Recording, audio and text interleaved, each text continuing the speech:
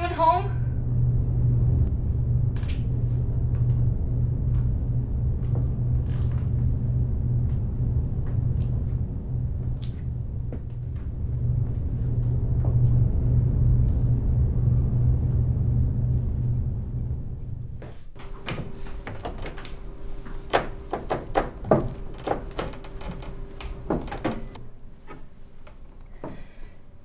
Andy, are you there?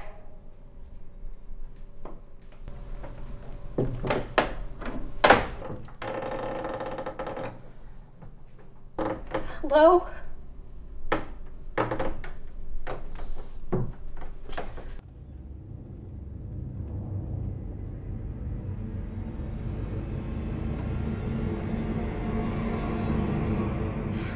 Jesus, Andy, you scared me half to death. I know it sounds crazy, but I have been seeing you everywhere. It's like I'm living some kind of nightmare or something. I must be going mad, right? It's really starting to mess with me, you know? Freak me out. I probably need more sleep. That's all.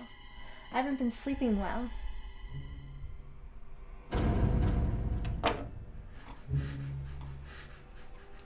But on the other hand, who wants to take chances, right?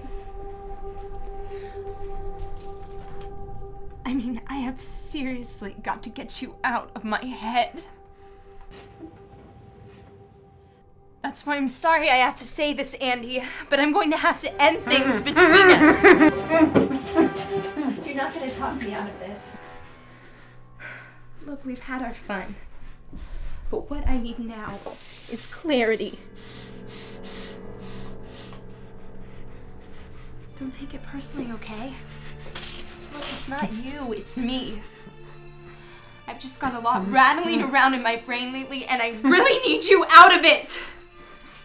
Still, I think there's a part of me that's never going to forget you.